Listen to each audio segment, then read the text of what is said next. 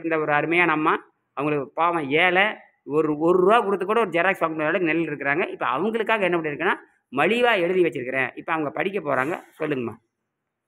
காலை எழுந்தவுடன் நீரை மருந்தாக அருந்தவும். சரி. சிறிதளவு தண்ணீர் வயிற்றில் இருக்கும்படி பார்த்து கொள்ளவும். பத்து மணி வரை இதை செய்ய வேண்டும். அப்பொழுது சிறுநீர் மஞ்சளாக வருவதை முதல் நாளே உணர்வீர்கள். தொண்டையில் மஞ்சள் கசப்பாக வந்து படியும். அப்பொழுது சில பேரிச்சம்பழமும் ம். வ- வறுத்த வேர்க்கடலையும் வென்று திங்கள் விழுந்து தேவையான அளவில். அருந்தவும். மீண்டும் நீர் அந்த பக்கத்தே எடுக்க செய்யவும் பசி எடுக்கும்போது சவுண்டு பத்தாது. மீண்டும் நீர் அருந்தவும். இருந்தாலும் பசிக்கும் அப்போது சாதாரண உணவை சாப்பிட்டு நீர் பயிற்சி செய்யலாம். சாதாரண உணவு அல்லது பேரிச்சம்பழமும் வேர்க்கடலை சாப்பிட்டு அந்த விஷயத்தை விஷத்தை. விஷத்தனோடு விஷயத்தை பரவாயில்ல விஷத்தை விஷயத்தை கீழே இறக்கலாம். மாலை அஞ்சு மணி ஆறு மணி என்று நீட்டிக்கவும் மாலை. ஒருவேளை வேண் வேண்டிய அளவு வேக வைத்த கீரை அல்லது காய்கறிகள் தாளிசம் செய்து உப்பு காரம் குறைவாக போட்டு ஒரு சப்பாத்தி உணவுடன் சுத்தம் செய்து கொள்ள வேண்டும். இப்படிக்கு நூற்றி எண்பது நாள் செய்ய வேண்டும். இதனால் உடல் மெல்ல மெல்ல இழைத்து வரும். ஒரு கட்டத்தில் அவரவர் உடல் எடைக்கு தகுந்தாற்போல் உடல் எடை குறைவது நன்று- நின்று விடும் ம் அப்பொழுது உடல் சுத்தமாகி விட்டது என்று பொருள்.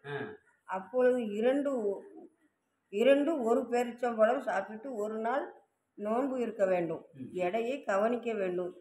எடை குறைவில்லை என்றால் நீரை மருந்தாக அருந்தி இரண்டு நாள் இருக்க வேண்டும். அப்பொழுதும் எடை குறையவில்லை என்றால் காற்றை சுவாசித்து இருக்க வேண்டும். அப்பொழுதும் இடை குறையவில்லை என்றால் நீங்கள் எதுவுமே செய்ய தேவையில்லை. இப்படியே தொடர்ந்து நீரை காற்றை சுவாசித்து இருக்கும்போது பொழுது பழைய விஷயங்கள் தொண்டையில் ப பத்து நாளில் வருவதற்கு வாய்ப்பு இருக்கிறது. அது என்னது? தொ என்னது பத்து நாள்?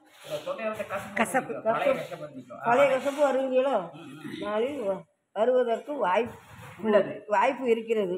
அப்பொழுதும் மரு மரு மருந்தடிக்காத. அதான் அதில் இந்தெண்ணெய் வரல. ம மருந்தடிக்காதன்னு வந்திருக்கு.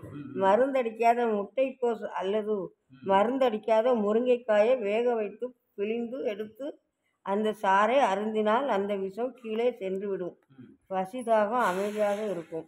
இது நிலைத்து நிற்கும். எல்லா நோய்களும் போய்விடும் அது கொடுக்கிறது எல்லா நோய்களும் போய்விடும் ஒரு பேனா கொடுங்க.